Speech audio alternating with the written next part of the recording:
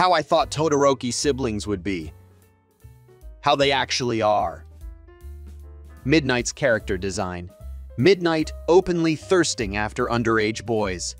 Her quirk is literally a roofie. That face you make when you stub your toe, but your crush is in the room. Two enemy characters trying to kill each other. What see? Deku, you keep accusing me of being All Might's love child. Mind telling me why Tokoyami laid an egg and this came out.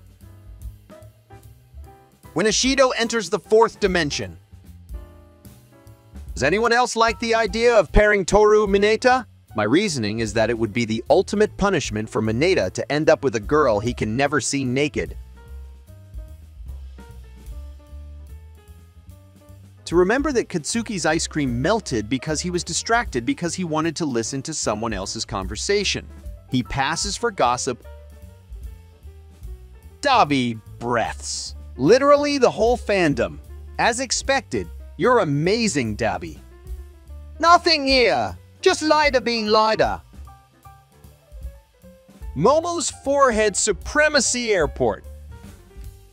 The duality of man. Bakugo plays the guitar. Deku. Wow, I didn't know you could. Bakugo. You're deep in a girl's guts and feel something tug at your piece. You pull out and see this. Plain and simple. Ochako has no fear. Get off! I'm not going anywhere. Hot MILF slaps son. This bad boy can fit so much explosions in it. When Kacchan throws your hero notebook off the roof, the sacred texts. When you punch Bakugo instead of kicking him, I pulled a little sneaky on you. Your face when people ship you with the guy who beat you up in the sports festival. Treatments for erectile dysfunction. Surgery, 50 effective. Viagra, 70 effective.